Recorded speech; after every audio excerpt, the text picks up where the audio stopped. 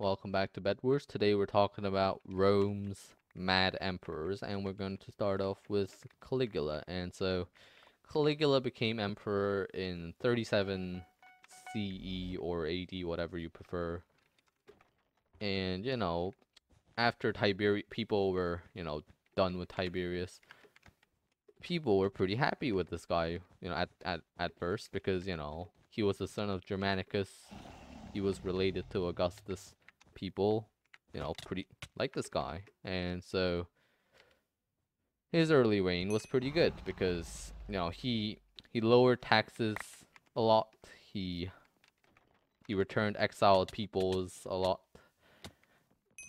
And you know, generally was not that bad a lot. And so, you know, people liked him, but then he got sick. Like, very sick. And so, you know, the people after going through Tiberius was like, please, we got a good emperor. Please don't let him die. But, you know, then he recovered, fortunately, or unfortunately, if you know the context of his reign.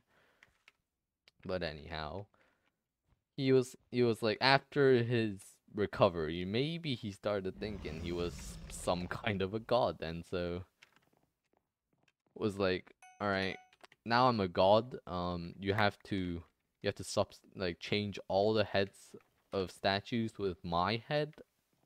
Thank you very much. And you know, people were like, wait a minute, well, what happened to them? And so, is my bed? Is my bed fine? Eh, whatever. I don't really care. And so, let me tell you some of the things this dude did during his four, four year reign. One time, he was looking to invade Britannia, which is Britain. But the thing, the biggest threat to his, you know, conquest in Britain was not not like the inhabitants, but like the weather.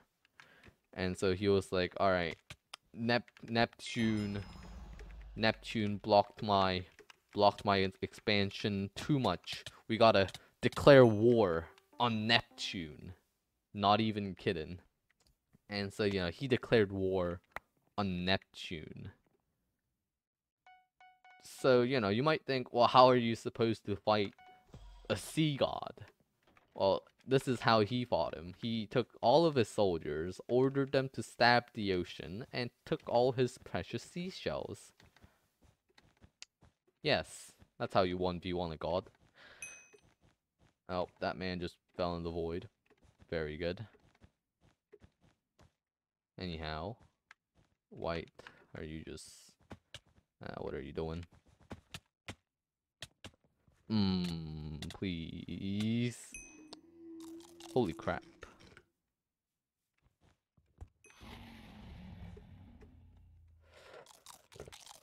Yeah, let's just seal here. And other things he did was, okay, he heard Tiberius, one of Tiberius's astrologers say, oh, the chance of Caligula becoming the emperor is as low as crossing the Bay of Baiae with a horse. And so naturally, Caligula heard that and was like, oh yeah? You challenge me? So yeah, he gathered like all available ships in Italy, which was like 800, 700-ish ships, brought them to this bay just so he can line them up in a tight formation and cross it triumphantly. now, there are some people who say this never happened, and it is possible, but given all the other things he did, probably did. And anyhow, other things. A lot of people use this as like a fun, fun fact in history, where Caligula appointed his horse as consul. Now, he did think about doing it, but he never actually did it, you know. He only thought of doing it. But although my guess is he only did it because the Senate would never be able to understand his horse's incredible genius.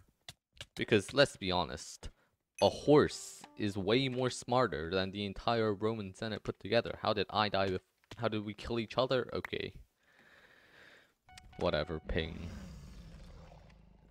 So yes, obviously people, the people living under him were, you know, pretty pissed that they had to do do all this and you know live through all this after living through Tiberius. So a man named Cassius Chaerea formed like a plot to kill him, and you know they worked. It, he was like in like a theater, and got killed. You know, the stabby way. I guess he learned a thing or two about Julius Caesar. You know, the stabby way. Why not?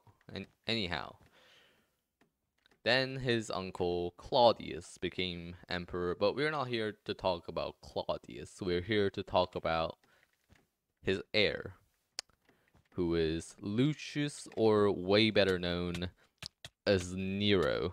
Yes, I know a lot of a lot of people are gonna be like, "Oh my God, Nero! I hate this guy." And you know, it's fair. It's fair enough. I'm not saying you should. Nero's a good dude or anything, but let me tell you a little thing a thing or two about Nero. I can't let that guy live. He's gonna rush my bed. So this dude Yes, okay, let me just clear up one of the one of the um big misconceptions of his rule. He did not a lot of people are like, "Oh my god, he started the the great fire of Rome." so he can build a palace and he only blamed it on the Christians so he don't get bad street cred. Yes, it did happen, the Great Fire, obviously. But Nero didn't start it because, you know, Rome was a city of 1 million. Small scale fires happened every now and then. And so, you know, it just, you know, a lot of fires happened, but just this one got out of control. And, you know, just to just to you know blame trying trying not to get himself a bad street cred he he blamed it on the christians. Yes it's true he killed them but he did pretty savage things to them like lighting them up and using them as torches. So yeah very very kind not really let me tell you uh, other other than other than the Christian and Great Fire things. Let me tell you a thing or two about his his love life. Uh, he got married to a woman named Octavia, who was his first wife, but Nero wasn't happy because Octavia couldn't like get have kids or whatever. So you know, I, I I do understand that whole like kings being well not king, but he wasn't a king, but you know, still paranoia about not having a son. I do I do understand that because I I I, I read a lot of history. What? What? Take the knockback. Take the knockback. Wait. I hate this game. What was that? He should have just died, flown off the edge. And he doesn't. He doesn't. Because screw me, said Hypixel. Okay, okay, okay. This ain't okay. This ain't okay. Oh, he's good retreating. Um. Alright, I guess. So, you know, but Octavia was like, you know, a virtuous, caring wife who was, you know, nice and everything. But just because she couldn't bear kids, Nero divorced her. And I do get the whole divorcing, but he did kill her. Well, not not him, but he ordered it. Because after all, who would want to marry a caring, loving wife? And then he married Poppaea. Now, I don't really need to know anything about here, but here, her, but when she was pregnant, I don't know exactly what happened, but apparently she was like being annoyance. so Nero Nero kicked her in the belly, which still had his child and killed her and her his his kid. I don't I don't. The man the man's crazy. What what what I what I have to say to convince you the man was crazy. Yeah, that was that was Nero, but eventually the people were again pretty similar to Caligula. The people were pretty pretty fed up with his crap, so the the Senate declared him an enemy of Rome, and subsequently he died. Why don't this man take KB? What?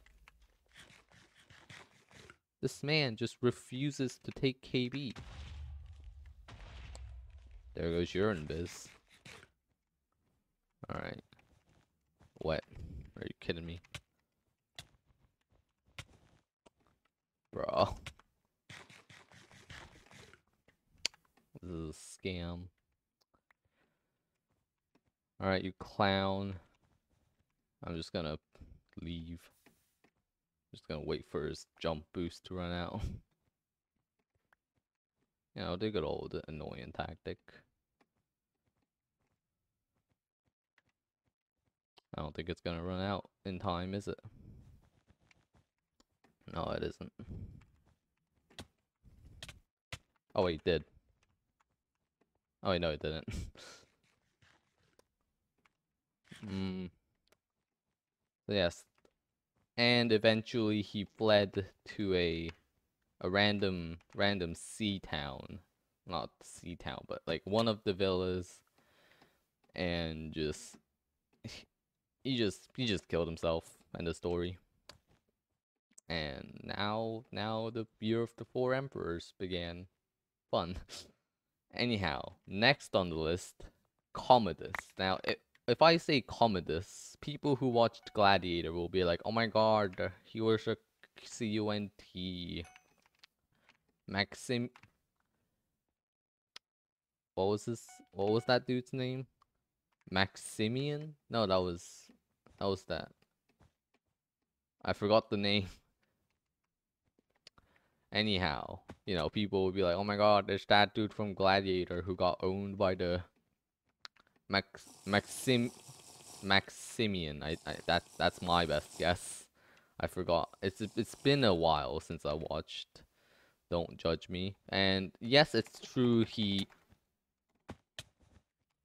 he did fight in the arena and the Colosseum.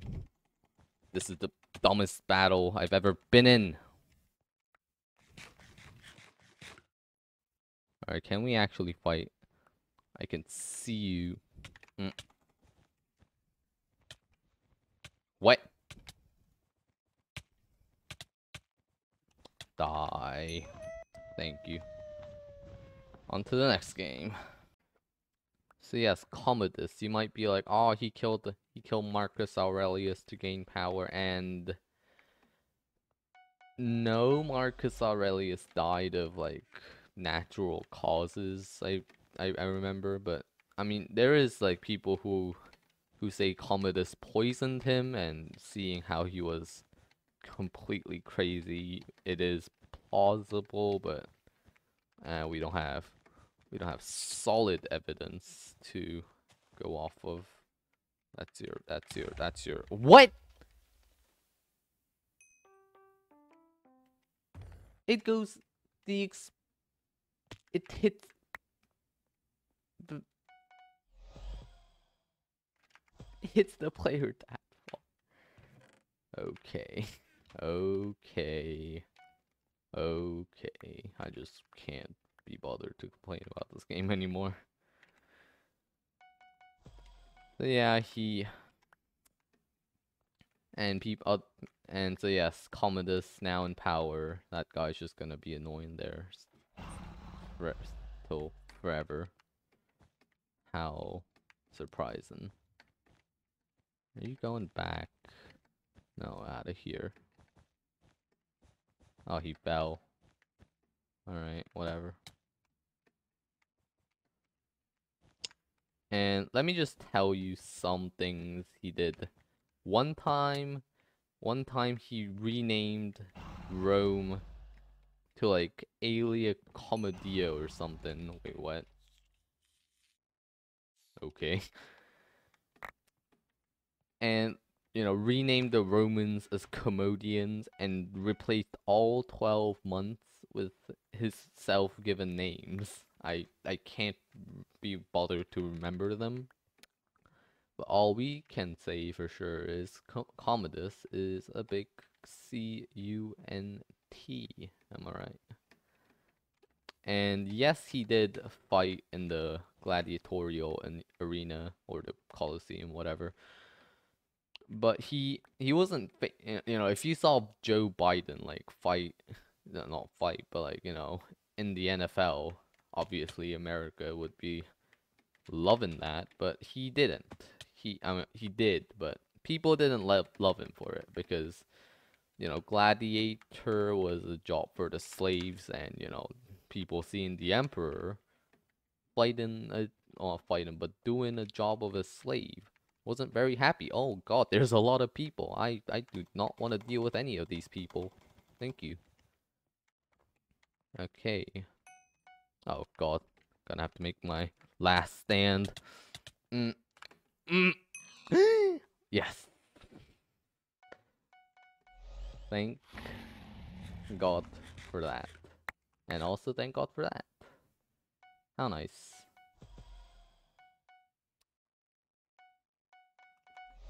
Anyway, so where where were we? Oh yeah, Commodus. And yeah, he fought like a couple hundred times in the arena, but it's not like it's not like he fought like actual gladiatorial legends. He fought retired, old, disabled, his own servants. He fought those kind of people instead of actual gladiators. So don't be like, oh my god, he, he fought a couple hundred times and didn't lose. What a what a what a Chad. No, he he literally fought like a kid. Don't praise him a little too much. Oh god, I I'm, I was not paying attention, was I? Oh, good job. What? What? What the? What the? What the? Okay, I'm just gonna I'm just gonna presume lag and not care anymore. I'm I'm sure I'm sure Hypixel has his own bizarro reasons for that, which I don't care. I actually have quite a lot of diamonds. Alright, so with all this he did like severely drain the the treasury, yes. And oh god I opened the shop. And, you know, the people, again, were pretty pissed, but this, unlike, unlike, you know, Gladiator, his death wasn't that, you know, dramatic. Oh, Maximian killed the dude, incredible. Not like that. He, he was in, like, some, like, bathhouse, and a dude named Nars, I uh, not dude, but, like, first, a woman named Marcia tried to like poison him, but uh, I don't know if he like built a poison immune or something, but he didn't die. And so his bodybuilder, well, bodybuilder, fitness trainer, I guess you could say. Anyhow, his fitness trainer, mm, Narcissus, killed him by like strangulation or whatever and then the year of the year of the five emperors have not yes five emperors. There's like three of them don't excuse me if i lose track of them but anyhow this leads on to septimius Sever severus which i mean we're not here to talk about severus. We're here to talk about his heir who is Caracalla and Geta. Now, you gotta know a little bit about Caracalla to understand. hit the understand not Caracalla, Septimius Severus to understand Caracalla. So yeah. So Septimius Severus had like two sons, which he made both of them his heirs. One was named Geta, and the other Caracalla. And what you gotta know about what you gotta know about these two brothers is they hate each other. Oh god, I messed up terribly. How am I this bad anyhow? Whatever. I'm I'm I'm, I'm always bad, but just especially more in that occasion. And so, you know, when they became when they became Augustus's like his mother like brought them both in and were like, "Oh yeah, bro- brothers, oh, oh, blah blah blah blah blah." You you you you you. All right, well, thanks for the diamonds, I guess. Oh yeah, your your brother's always the popular MMO skin. I feel bad. I used to watch him. Goodbye. Anyhow. So where were we? Okay, so like during his whole his mom's whole like oh yeah brother brothers blah blah blah speech, he literally stabbed him. Yeah, he's a crazy man. But let me tell you guys a little other things he did. He apparently he only ate seafood when it was far away from the coast where it became a luxurious commodity. And did like held major parties and invited nobody to them because you know hoarding all the food and inviting nobody to the parties hmm, seems like a very wise use of resources.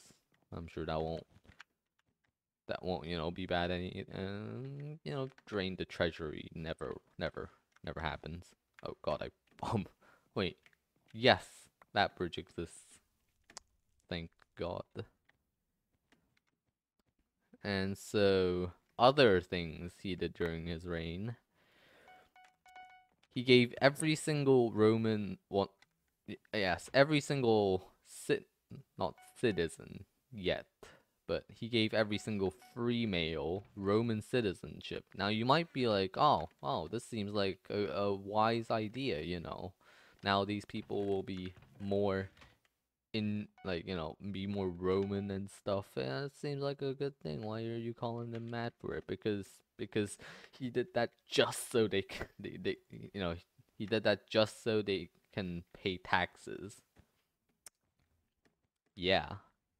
And what did he do with all this taxes, you ask? Well, I'm glad you ask. He demolished several several plebeian districts and ordered built the Baths of Caracalla in, the, in their place, which is considered to be one of the most luxurious buildings in history. This man took no knockback. I hate this game. And he threw all away all the resources, bro. Well, I mean, I have two, uh, two iron and one diamond. Yay. So yes. Build, build massive luxurious complexes just because you feel like it. Hmm. Okay, other things he did. One one day, the Parthian king, which is like, like, it, like you know, Persian Empire bootleg, well, not bootleg, but you know, per Persian Empire, came. The the king came to him and was like, "Oh, please, allow us marry my daughter, and we can, you know, have have a period of peace between our our, our empires and you know Caracalla was like sure thing man I will I will marry your daughter but then as soon as he got to Parthia he just slaughtered the entire marriage party because because why not? Why not man? Um Caracalla he does a bit of trolling. Any anyhow, although you know he did all that, people obviously didn't like him, but he he get like the army was never gonna overthrow him because the ar- he gave like a lot of money to the army to not not get overthrown. So one of the Praetorian prefects was like, "All right, I'm I'm gonna kill him, and you know, since I'm the Praetorian prefect, they're gonna aid me." And so while while he was in the in the sands after doing that whole little bit of trolling thing, the the dude like went to some soldier that was rejected a promotion and was like, "Oh, look at that dude. He rejected your promotion. Don't you feel mad? Get him. Yeah. Let the dark side take over. You gave him a sword." And oh god, no, no, no, no, no, no, no, no, no, no, no, no, no, no, absolutely not, absolutely not. This recording doesn't have to be that long. And so yeah, he died, and the Praetorian prefect Macrinus took over, but then he died, and Elagabalus happened. Anyhow, they all died. The end. None of them were that good, but yeah. So um that was this video. Like, sub, I guess. Or you don't have to. You just do free will or whatever. Bye.